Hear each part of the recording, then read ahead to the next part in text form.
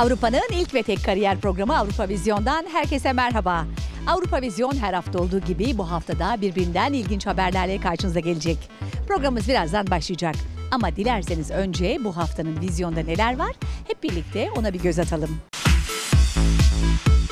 Avrupa Vizyon bu haftada yine dop dolu. Erbil'de yaşayan Türk iş adamlarımızın en son durumunu ve bölgedeki gelişmeleri Erbil Türkiye Konsolosu anlatıyor. Erbil sokaklarındaki gezintimiz devam ediyor. Kayseri çarşısından en özel görüntüler.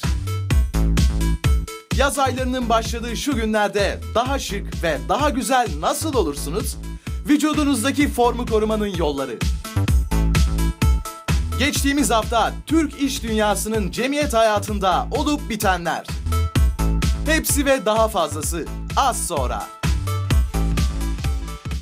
Avrupa Vizyon bu hafta Erbil'den başlıyor. Şimdi hep birlikte Erbil'e gidiyor ve Kürdistan bölgesiyle ilgili olarak Erbil Başkonsolosumuzdan bilgiler alıyoruz.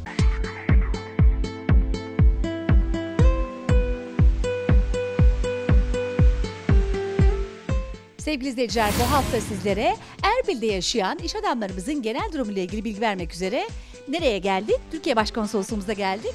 Yanımızda Başkonsolos Mehmet Akif İnan Bey var ve e, kendisinden hem bölgeyi anlatmasını isteyeceğiz hem burada yaşayan e, iş adamlarımızın durumlarıyla ilgili bilgiler isteyeceğiz. Efendim merhabalar. Merhabalar, hoş geldiniz. Hoş bulduk. Çok teşekkürler. Ee, biz bir süreden beri bölgedeyiz. Ee, siz biz geldikten sonra bölgeye geldiniz ama galiba bizden daha iyi tanıyorsunuz artık. Öncelikle e, sormak istiyorum. Acaba ne kadar e, iş adamımız var burada, ne kadar kayıtlı Türk firmamız var? Teşekkür ediyorum. Öncelikle bu fırsatı tanıdığınız için ben bir kez daha teşekkür etmek istiyorum ve izleyicilerimize de saygılarımı sunuyorum. Ee, burada 2013 yılı itibariyle e, ne kadar firmamız var onu öğrenmek için e, Ticaret ve Sanayi Bakanlığı'na e, başvurmuştuk. Elimizdeki bilgilere göre e, buradaki Türk firmasının sayısı 1300'den fazla. E, bunun Resmi kayıtlı değil mi efendim? kayıtlı, resmi kayıtlı. E, 200 kadar da firma ortak girişim şeklinde kurulmuş. Mahalli firma olarak gözüküyor ama bunu da biz Türk firması olarak kabul edersek 1500 civarı firmamız var burada. Hı hı. Bunun e, 800'den fazlası Erbil'de. İşte bir kısmı Süleymaniye'de ve Doğuk'ta kurulmuşlar. E, dolayısıyla e, rakam aslında etkileyici bir rakam. E, burada kayıtlı olan yabancı firma sayısının yaklaşık yarısı e, Türk firması demek oluyor. Hı hı. E, bu da buradaki e, varlığımızın önemli göstergelerinden bir tanesi aslında. Oldukça fazlayız yani burada değil mi? Yabancı firmaların yarısının Türk olması tabii güzel bir gösterge. Bizim için. Ee, tabii irili ufaklı firmalar bunlar. Ee, burada e, hacmimiz olarak tabii sektörel e, duruma göre fark edebiliyor. Burada inşaat ağırlıklı bu firmaların çoğunluğu. %55-60 civarı inşaat firması. Hı.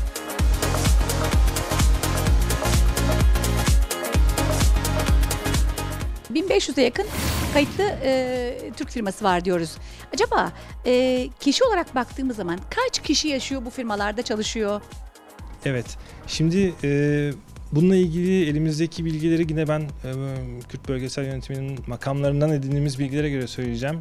E, çünkü daha sağlıklı olacaklar. Evet. Bizim başkonsolosluğumuzda kayıt yaptıran vatandaş sayımız daha az kalıyor genellikle. Çünkü burada bir işleme ihtiyacı olduğunda e, Ancak geliyor. ancak geliyor ve kaydını yaptırıyor. E, geçen sene itibariyle e, yaklaşık 110 binden fazla vatandaşımız burada oturma izni almış. Bunlar 3 aylık, 6 aylık ve 1 yıllık oturma iznine sahipler.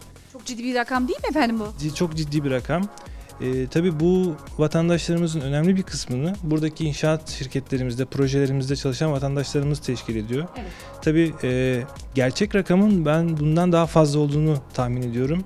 Onun sebebi de şu, biz aynı dönem için giriş çıkış rakamlarına da bakmıştık. Giriş yapan sayısından çıkış yapan sayısı arasındaki fark 200 binden fazla.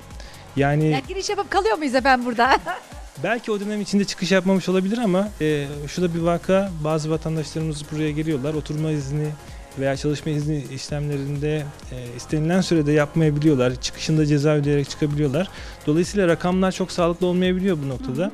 Ama bir gerçek var. E, yani 110 bin kişi sadece geçen sene burada oturma izni almış. Yine çoğunluğu Erbil'de, e, önemli bir kısmı Süleymaniye'de ve geri kalan da Doğuk'ta.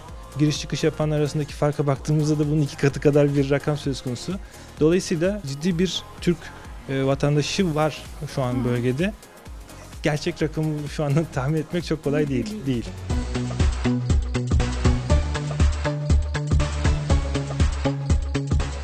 Şimdi burası yeni gelişen bir bölge.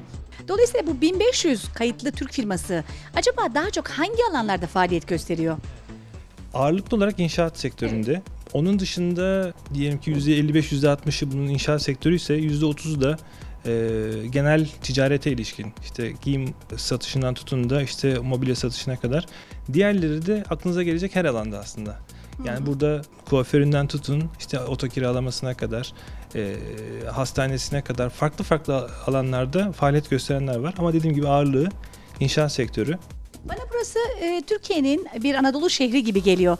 Acaba siz ne düşünüyorsunuz bu konuda? Kesinlikle aynı fikirdeyim. Ee, ben bunu buraya geldim ilk gün e, bizzat kendim hissettim. Siz de fark etmişsinizdir. Sokaklarda yürüdüğünüz zaman tabelaları bile neredeyse Türkçe. Evet. Ee, Türk markaları çok yaygın bir şekilde zaten e, buradalar. Ee, Hemen herkes Türkçe konuşuyor. Herkes Türkçe konuşuyor. Tabii e, bunda Türk e, kanallarında yayın yapan dizilerin de etkisi var ama e, esası ticari ilişkilerin güçlü olması. E, burada 1300 tane firmadan bahsettik ama buradaki firmalar da Türkiye ile iş yapıyorlar. Dolayısıyla karşılıklı bir iletişim söz Hı hı. konusu. Yani neredeyse her firmanın Türkiye bağlantısı var mutlaka. Var. Ya bizim firmamız burada ya buranın firması Türkiye ile iş yapıyorlar yapıyor. kesinlikle. O yüzden e, ilişkilerimiz çok iç içe geçmiş vaziyette. E, bunun bizim ihracatımız bağlamında da yansıması var zaten. Türkiye'nin en çok ihracatı e, bu bölgeye bildiğim kadarıyla. geçen sene e, bizim e, en fazla ihracatımız e, Almanya'ydı. E, yanılmıyorsam 13.7 milyar dolarlık bir ihracatımız var. İkinci sırada e, Irak geliyor 12 milyar dolar. Ancak onu ithalatla karşılaştırdığımız zaman buradan bir şey almadığımız için Türkiye'nin kazanımları bölgeye baktığımız zaman çok daha yüksek değil mi? Tabii. Yani burayla e, bizim ticari e, ilişkimiz ya da ticaret hacmimiz aslında buraya ihracatımız. Biz buradan fazla bir şey almıyoruz. E, dolayısıyla Son zamanlarda sadece petrol alıyoruz değil mi e, petrolü inşallah önümüzdeki dönemde e, yani Daha ihtiyaç ihtiyaç duyulursa alınacaktır. E, burada e, tabii bizim buraya satışımız esas yine bu inşaat sektörüyle bağlantılı olduğu için e, ağırlıklı olarak inşaat malzemeleri ve yan Hı ku- e, kuruluşlarına ilişkin girdiler e, teşkil ediyor. Ama bunun dışında işte elektrikli malzemelerden tutun da gıdaya kadar, tekstile kadar her türlü ürünün aslında satışı yapılıyor, ihracatı yapılıyor bu bölgeye. E, tabii 12 milyar dolarlık ihracat Irak'ta yapılan ihracat. E, bu Kürt bölgesi bunun yaklaşık %70'ini e, kapsıyor e, tespit edebildiğimiz kadarıyla. Belki tamamını burada tüketmiyorlar ama e, buradan da e, Irak'ın geri kalanına hatta İran ve Suriye'ye e, yeniden satışı gerçekleşiyor. Burası o anlamda ticari anlamda da bizim hem Irak'ın geri kalanına hem de e, bölgenin e, diğer e, diğer kısmına bir e, kapı şeklinde.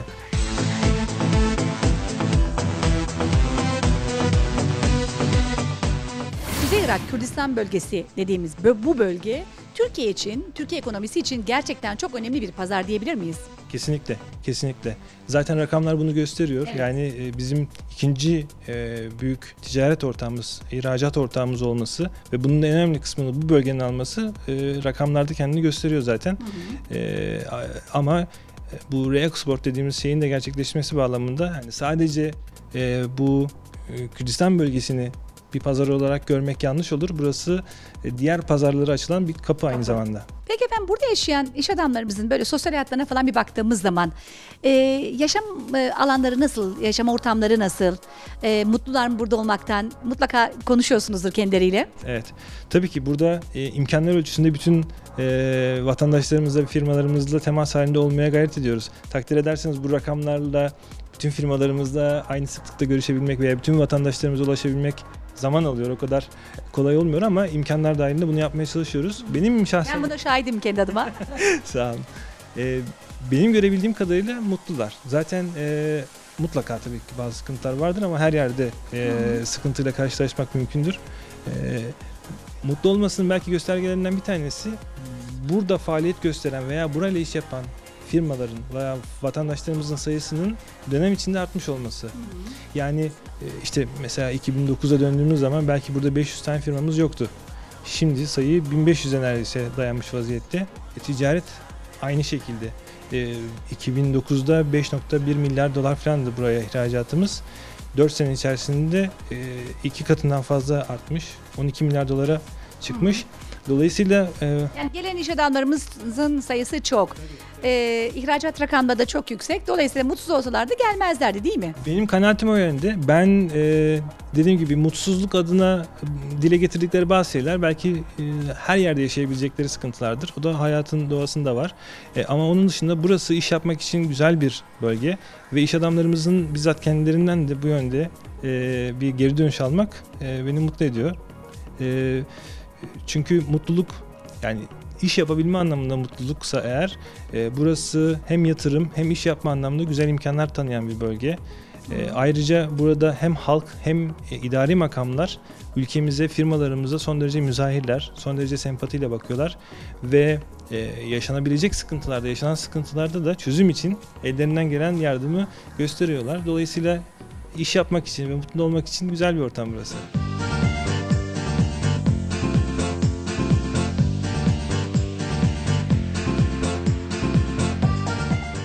Mutlaka dediğiniz gibi e, her ülkede sorunlar vardır. Ancak e, bu bölgede son dönemde biraz hani ekonomik anlamda sıkıntılar var. E, güney tarafının bütçeyi onaylamamasından kaynaklanan sıkıntılar. Acaba e, burada bir Türk firması sorun yaşadığında e, gelip size başvuruyor mu? Ya da başvurduğu zaman e, sizin tepkiniz ne oluyor? E, yardımcı olabiliyor musunuz? Tabii. E, dediğiniz gibi e, mutlaka bazı sorunlar yaşanıyor. Ve sorun yaşandığında da vatandaşlarımız ve firmalarımız bize başvuruyorlar. Bizim vazifemiz de imkanlar ölçüsünde yapabildiğimiz kadarıyla bu sorunların çözümüne katkıda bulunmak. Tabii ki e, bu her zaman mümkün olmayabiliyor.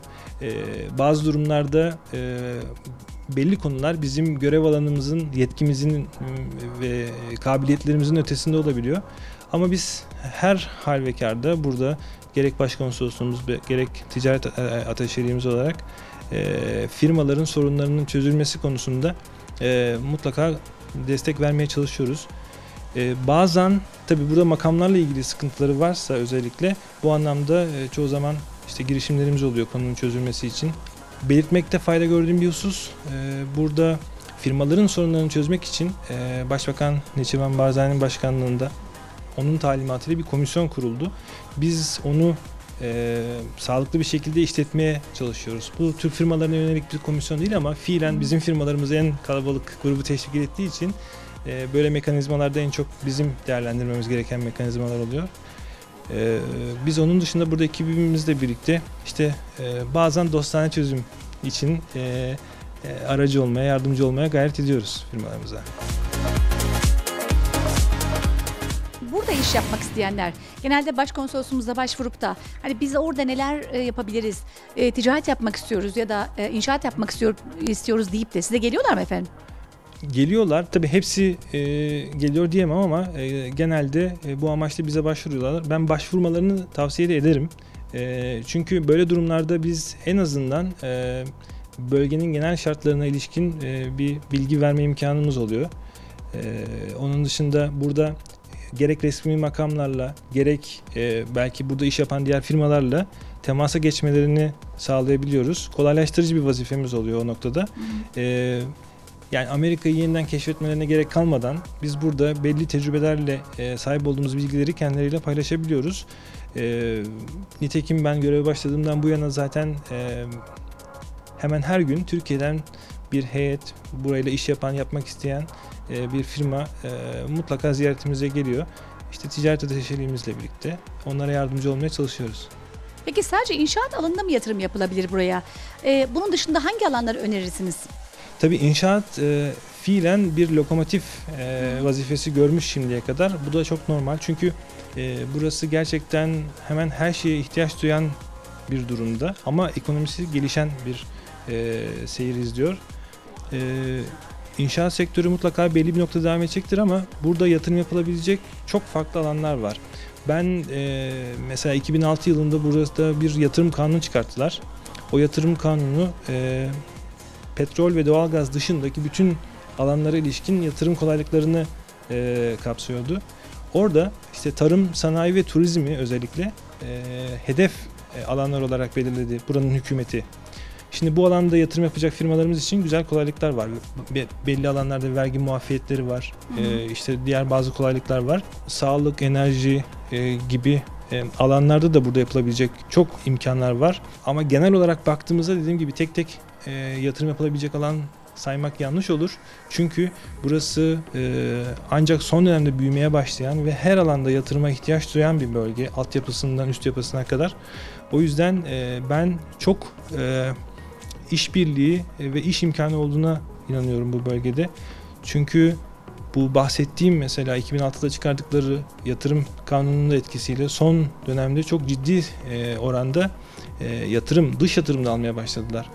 Yani e, 2006'dan 2012'ye kadar bildiğim kadarıyla 22 milyar doların üzerinde bir yatırım yapıldı bölgeye. Bunun ağırlıklı bir kısmı tabii bölgesel hükümetin kendi kaynaklarıyla yapılan yatırımlar ama e, mesela %15 kısmı doğrudan dış yatırım. O doğrudan dış yatırımın önemli bir kısmını da bizim firmalarımız yapıyorlar. Bu da güzel ve sevindirici bir nokta. O yüzden belki önümüzdeki dönemde ben e, bu bölgenin özellikle altyapısına işte yol, enerji tesisleri gibi e, böyle kritik alanlardaki kalkınma projelerine de gelmelerini, yatırım yapmalarını ve işbirliği yapmalarını e, tavsiye ediyorum firmalarımıza. Yani şunu diyebilir miyiz? Siz ne iş yapıyorsanız yapın Türkiye'de. e, mutlaka bu tarafta, bu bölgede yapabileceğiniz işler vardır. Dolayısıyla bunun için öncelikle gelsinler Erbil'deki başkonsolosumuzun e, ticari e, ateşilik bölümünden bilgi alsınlar ve e, kendileri için bir pazar olup olmadığını araştırsınlar diyebilir miyiz? Kesinlikle, kesinlikle. Ben e, bu bölgede her anlamda iş yapmak için olsun, turizm için olsun. Biliyorsunuz burası bu sene Arap e, kültür ödül, turizm evet turizm başkenti seçildi. Dolayısıyla turizm alanı- alanında da en azından bu sene bir hareketlilik göze çarpıyor. E, yapılabilecek çok kişi olduğuna inanıyorum ve e, bizler burada elimizden geldiğince yardımcı olmaya çalışıyoruz. Zaman zaman web sayfamızda, işte sosyal medya kanallarımızda belli bilgilendirici mesajlarımız da oluyor.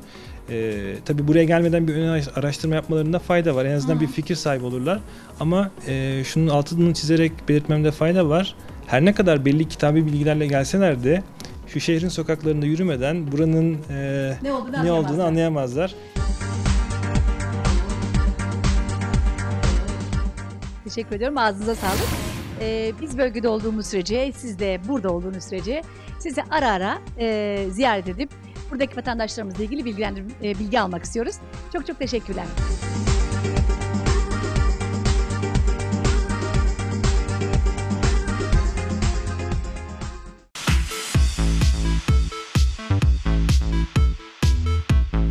Avrupa Vizyon reklamlardan sonra devam edecek. Sakın bizden ayrılmayın.